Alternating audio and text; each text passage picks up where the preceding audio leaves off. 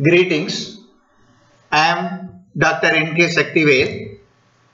I would like to focus the fourth unit of the subject Multi-Core Architectures and Programming CS 6801.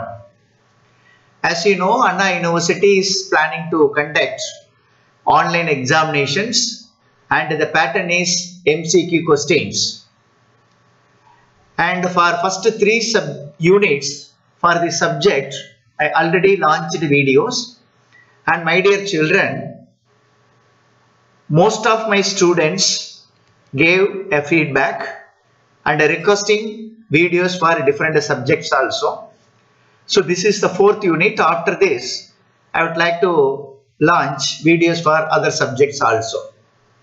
So in this video, we would like to focus the fourth unit. As you know, Anna University is planning to conduct project YOC examination from on 22nd September 2020 and the theory examinations will commence from 24th September 2020 that you know very well. And similarly some other information I was told like this but actually uh, approved what is called a circular will be communicated by Anna University shortly. As far as this uh, input is concerned, so that is university examination MCQ questions will conduct from 29th September 2020 sorry 24th September to 29th September 2020 and this MCQ question is a one hour examination you know very well but the additional information is so in this uh, online examination you will be asked 40 questions covering the entire syllabus and you can write only 30 questions. So 30 questions is enough out of 40 questions. So that is a one additional information. And the login ID will be forwarded to your registered mail by controller of examinations. This is the information I have received. But from university, you will get a final confirmed circular. As of now, you understand that 40 questions and you can write any 30 questions and that is enough. This is the one information. With this input, we would like to focus the fourth unit and the fourth unit, these are the keywords and all these keywords we will discuss one by one. First, I would like to focus what is distributed memory. So as you know, distributed memory refers it's a private memory. That means each processor has its own private memory called distributed memory. The purpose is that the computational task can only operate the private memory of the processor. That means local memory of the processor which is called as a distributed memory. So in this MCQ we can expect what is distributed memory. Distributed memory is nothing but private memory of a processor. Okay. And the next one is what is shared memory. Already we discussed what is shared memory. The shared memory helps multiple programs to access this memory simultaneously. That's a very important one. So it is the shared memory. That memory can accessed by multiple programs, multiple threads, multiple processes at the same time. That's a very important one. You know very well. The purpose of this shared memory is to avoid redundant copies.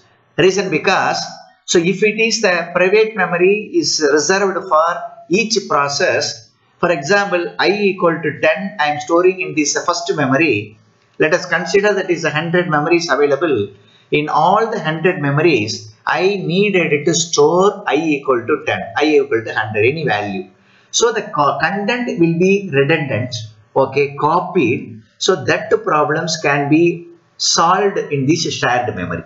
So that is idea about shared memory. And the next one is MPI. Already we discussed in our previous unit. So MPI refers message passing interface and this is the additional API to the C compiler or the C++ compiler that you know very well. Okay.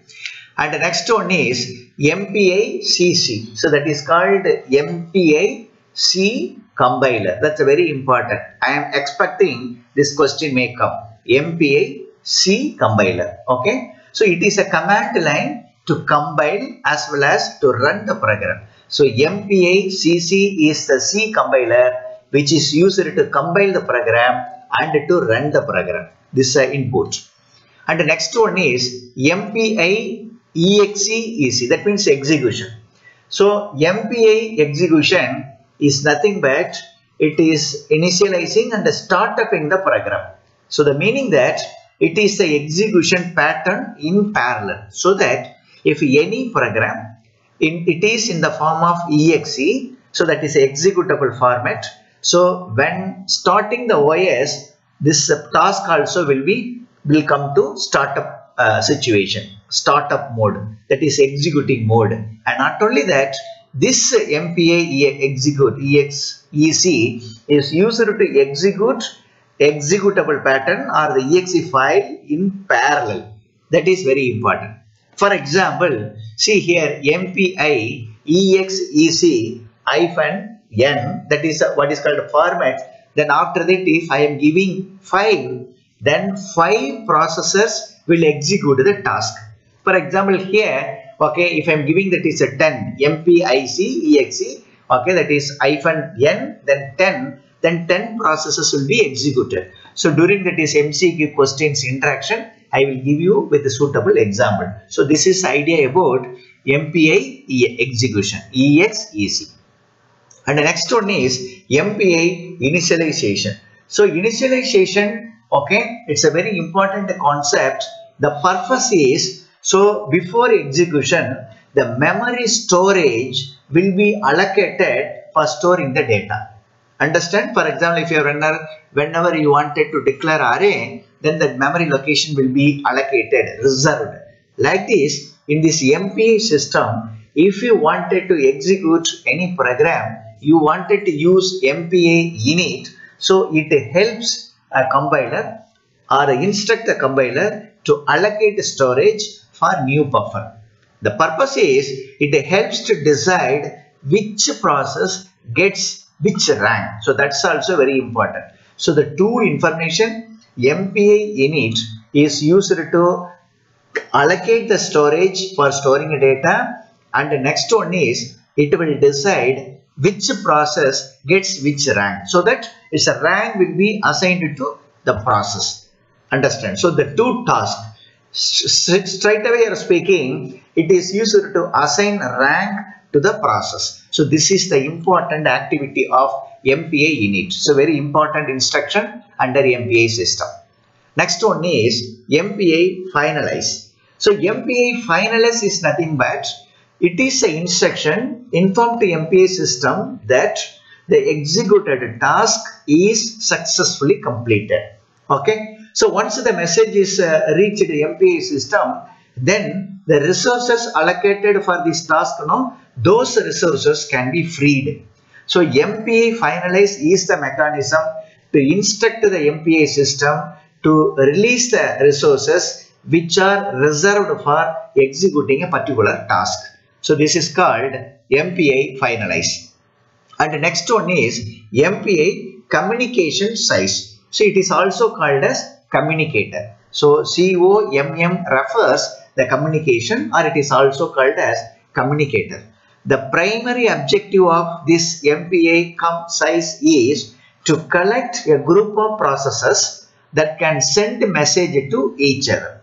Please understand, let us consider that is number of what is called uh, processes and all available. So the message should be shared to all the processes. For that purpose, the group of messages or group of processes are combined together and creating as a group and what is called the message will be communicated. For example, it is like broadcast and the multicast. For example, okay, particular message I wanted to communicate it to particular group, then the same message won't be communicated to another group. For this purpose, a group wanted to create under the group a few processes wanted to uh, bind.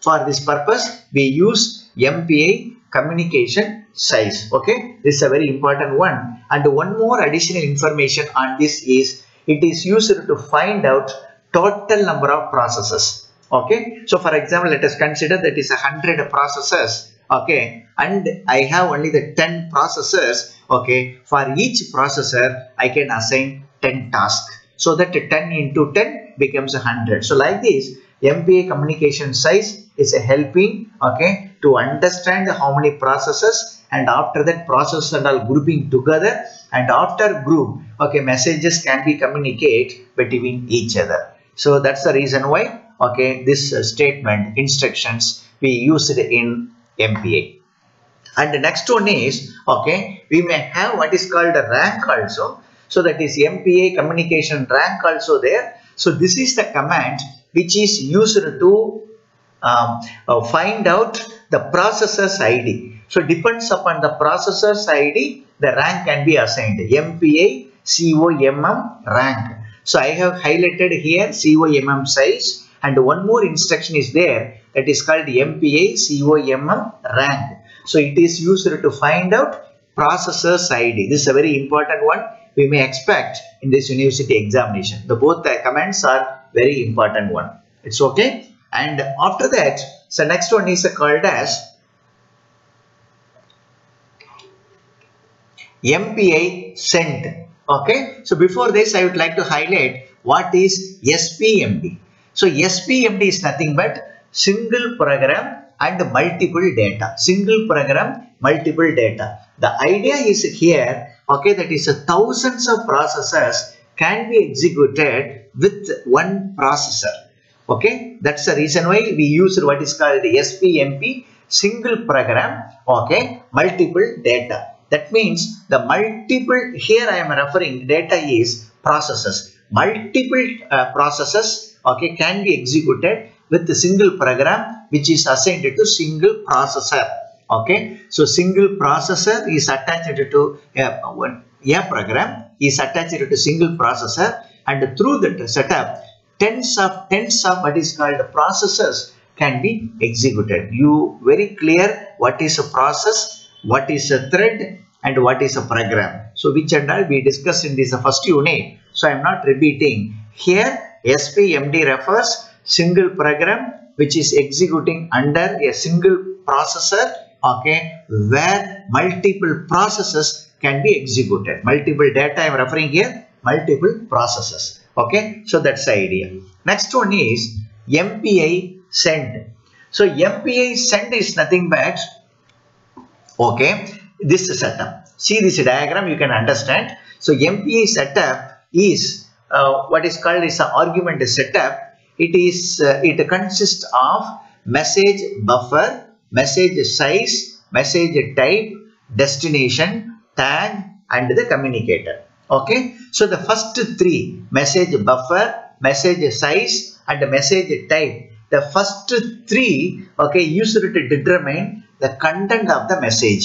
What content we wanted to send how much content we wanted to send that okay decided by this setup. So mpi send this group. Message buffer is a buffer size and what is called home byte size and okay what type? Integer float long integer like this. Okay type. Okay and the remaining okay other three. Okay what is called parameters destination tag and communicator determine okay uh, the message. Okay where the message has to be forwarded. That is destination of the message is decided by these three groups. So that when you are using what is called MPI send which is helping how much packet what type of pack, uh, data to be forwarded and where to be forwarded destination. So that both the details are very clear. So once you are calling MPI send okay buffer will be created and buffer size will be increased depends upon your program. If it is integer one size float one size long integer one size you know very well and then okay destination where that information should be forwarded For this purpose, we use what is called MPI send. It's a very, very important what is called methodology, okay, to transfer data successfully to the destination. And the next one is, okay, that is message receive. So already I explained send, the same format. See here, okay, this is the another format. See the this format, isn't it? So message receive. This also has what is called certain parameters, message buffer size, buffers, buffer, buffer size and buffer type. Okay, it is the first three parameters. Okay, is clearing block the memory because from here data is coming and the data should be stored so that the first three parts okay instructions used to block the memory and remaining these three tag communicator status is determines number of objects that can be stored in this block. Okay clear? Number of object means data. It's a information. So that this is reserving a data. Okay this part reserving the memory and the data is storing. This part okay it's creating a bandwidth. After that destination destination data coming. Okay already memory created the space created where data is storing. So that mpi send and mpi receive is a very very important command which is coming under mpi for successfully communicating a data with 100% security. So that's the reason why these two instructions are very very important one. Okay. Next i would like to highlight the collective communications. What is a collective communication? From the name it is very clear that it is a group of processing elements. It is a group. And not only that this is used for multicast communication. And at the same time it is reducing communication overhead. That's a way, for example best example you can understand the train. Okay. So that is a, train no? Only one engine only one driver. And after that okay it is a numbers of what is called coaches are uh, interconnected or connected together. Okay. For example imagine that okay that is a 45 coaches isn't it? So if only one engine or two engines and 45 coaches okay that is a moving imagine that is a bus. So 45 buses required 45 drivers conductors required lot of practical problems. So that means more overheads. That problem can be solved in this collective communication so the purpose is okay group communication under a multicast concept so that communication what is called uh, complexity okay will be reduced. Okay that is one information. And one more information under the collective communication is that here different tasks can be communicated. For example one communication for addition another is communication for multiplication third communication for finding maximum number fourth communication for finding minimum number like this. Different different tasks can be combined together and all those tasks can be communicated. If it is an ordinary what is called a model api model then for finding a maximum number okay one setup i wanted to create that should be executed. For finding a smallest number another set i wanted to create then should be executed. So that its a complexity is higher. To minimize the complexity this mpi has collective communication. So it is a very good methodology. Okay that is a tool which developed under mpi so the, i consider this is a very important concept. And the next one is point to point communication. It is ulta point to point communication is one by one.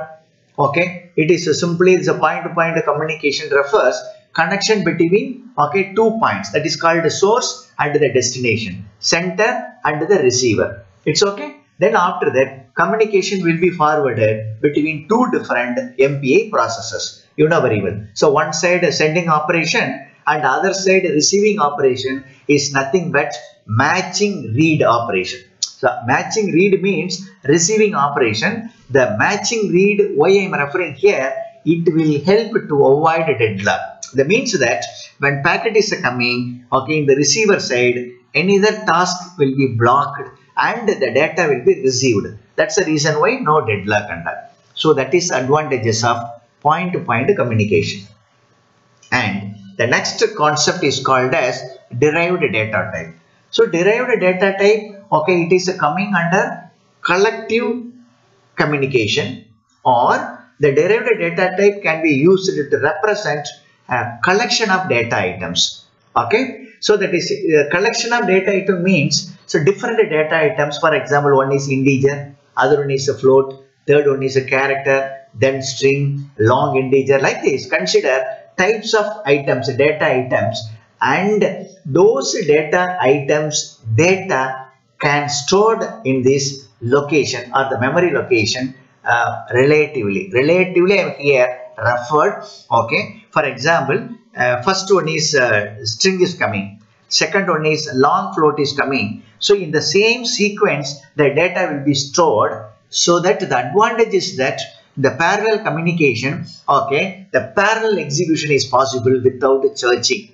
That's the reason why it's a very, very important concept, derived data type. So derived data type represent a collection of data and in this uh, what is called memory we can store okay with respect to types of items and the corresponding relative memory location. That means sequence sequence. So because of these features okay so we can improve the performance of parallel computation. So for this purpose we used these facilities under that is MPI which is designed for achieving distributed memory programming. So distributed memory you know very well is a great methodology and with the distributed memory we are executing parallel computation with the MPI. So nowadays most of the supercomputers using this setup. Okay, with this input I would like to uh, discuss certain MCQ questions. My dear children, if you have any doubts, please watch the video again and again to understand the concept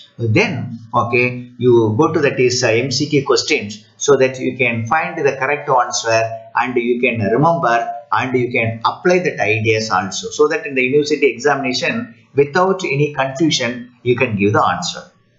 Okay? We will go to MCQ questions. So actually mm, mm, so clear so this is a fourth unit distributed memory programming with uh, one minute. Distributed memory programming with the MPI okay this is the syllabus we discussed. The first question is okay a remote node is being the node which has the copy of what? For example it is i am talking about distributed memory. So distributed memory you know very well okay for each processor there is a memory. So if memory means we need a very powerful cache so this question refers cache of the private memory or the cache of the home block home means the processor's home block, isn't it? So that is a remote node is being the node which has the copy of its cache home block. That means private memory means cache is required. You know the purpose of cache to improve the performance, accessing speed. Okay. So that's the reason why this is the, okay, that is answer. Home block is so there. Okay. Don't confuse. I'm not referring home block. Okay. Here referring the copy of what is called the node where shall be stored okay in this cache of this home block. That's the reason why i'm selecting this answer. Okay. Second question. In a distributed computing environment okay uh, the distributed system memory is used for what purpose? Distributed computing environment distributed shared memory distributed shared memory means logical only. Okay. So here the logical combinations of physical memories on the nodes. Okay. So distributed computing environment, entire distributed shared memory used for logical combinations of physical memories. Okay. So that's the reason why the second is the correct answer. Okay. No physical memories, no virtual memories. So please understand sometimes answer will be confused okay distributed computing environment distributed shared memory refers logical combinations of what is called private memory. Private memory refers physical memory, no doubt about this. Okay. Third question. Okay. What is not true about the distributed system? What is not true? You know very well what is a distributed system. It is a collection of processor. It is true. All the processes are synchronized. Okay. This is not true. So as far as a distributed system is concerned, we cannot synchronize the processes So answer is this one. Clear? Okay. And the fourth question is to update the cached copies, that means cache memory copies of the data item, we need operation like.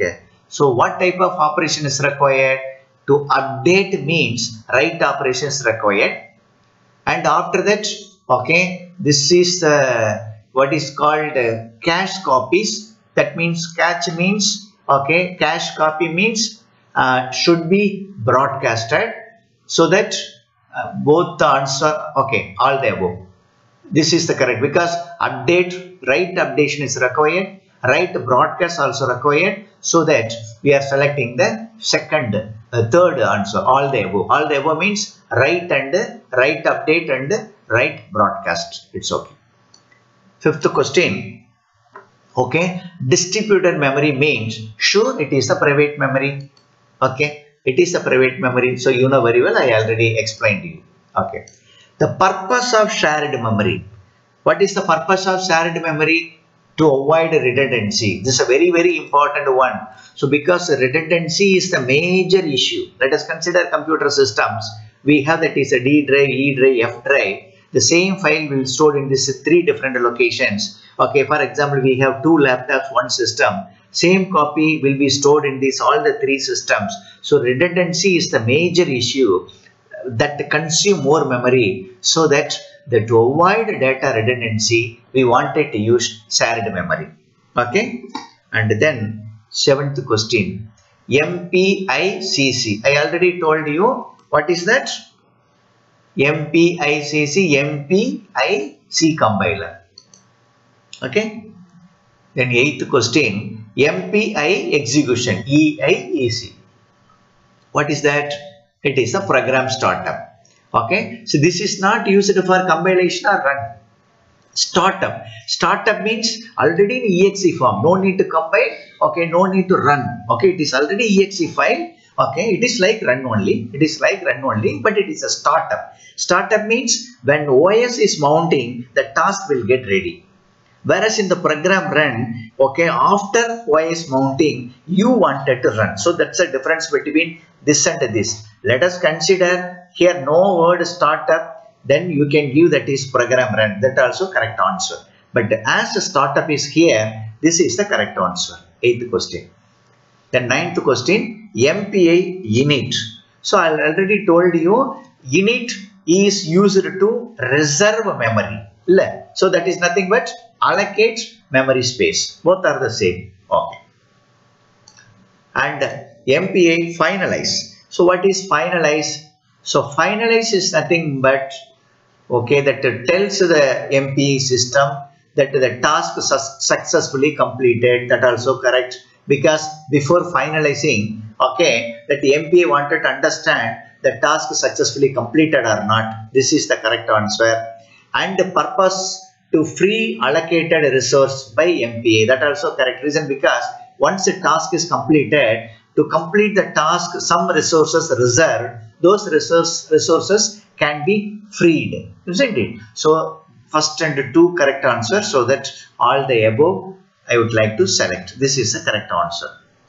And 11th question, MPI communication size. Okay, so MPI communication size, the purpose is find out the total number of processes okay the communication size is find out the total number of processes okay based on that the rank will be allocated so the main purpose is find out the total number of processes here communicator is not a communicator okay so that's a number of processes okay that's it 12th question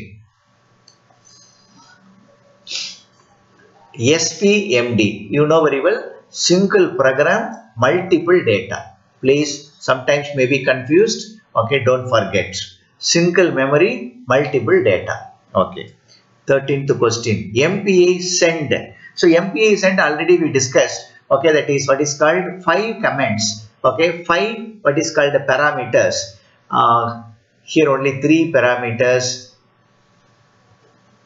This is the correct answer. Message buffer. Okay, message size. Then after that message type. Then what is called sending receiving side tag and the communicator. So this is the correct answer okay sender similarly you may expect the question related to receiver also. Cmpa receive. That also we may expect. Okay. 14th question. Collective communication. What is a collective communication? Is a multicast and it is used to reduce the communication header also. Overhead will be reduced. So okay multicast and it is reducing a communication. Okay.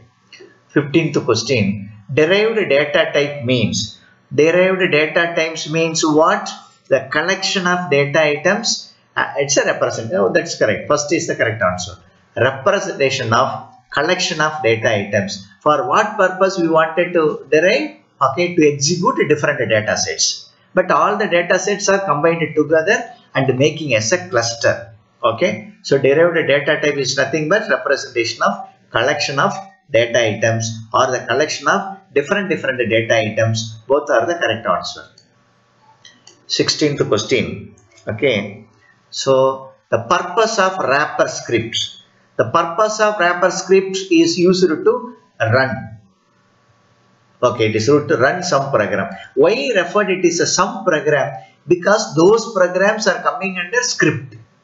Okay some programs exe programs we can execute. That's under not coming under script so that wrapper script is the executable program. That's the reason why run some program. This is the correct answer. Okay that's it. 17th question. Distributed memory model. Maximize local computation. That is correct. By maximizing no. So that is this is correct. Maximize local computation with uh, or and uh, minimizing communication. So this is the correct answer. This is the prime objective of distributed memory model. Whenever we are using distributed memory model, okay, that is communication overhead has to reduce. At the same time, computing power, execution speed wanted to maximize. Okay. 18th question, distributed memory model distributed memory model okay is overwrite a variable is a correct distributed memory model so you know very well what is a distributed memory model it is a private memory so the private memory means the previous data we wanted to overwrite okay so that same space can be used for continuous task conduct isn't it so it is a overwrite variable okay and it is a controlled no doubt about that because it is a private memory so overwrite and a controlled. 19th question. Collective computation, the purpose or the helps.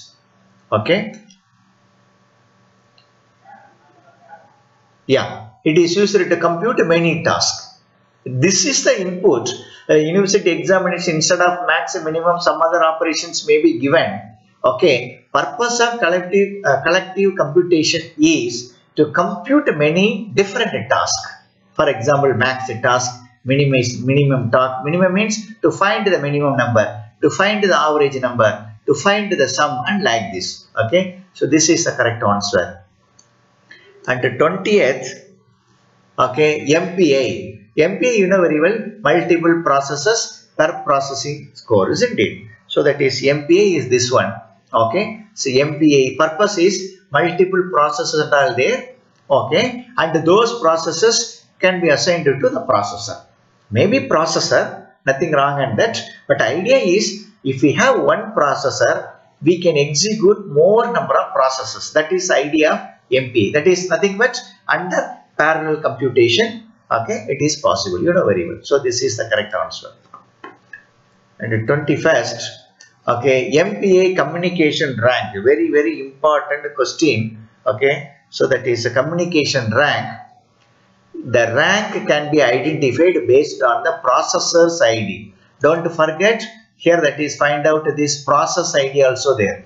Processor's id because now based on processor's id only we can give the rank. Because it depends upon the quality of processor. For example okay i uh, what is called flight reservation. Okay this flight is going to uh, delhi from chennai.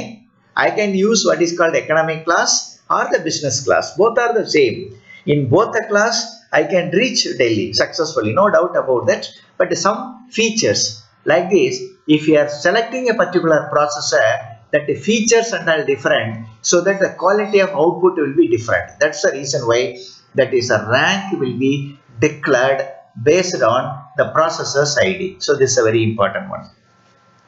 22nd MPI sent and MPI received. For what purpose? Okay both are using purpose is what is called reusing resources. Okay? Because okay that is uh, sending and grouping. Okay? So that what is called uh, resource utilization or reusing resources. Answer is reusing resources. One more answer is resource utilization. But here reusing resources given so that you give this answer is the correct answer. Okay? 23rd all processes in a process group to invoke as a single procedure we needed what? Okay init as well as finalize. You know very well what is initialization?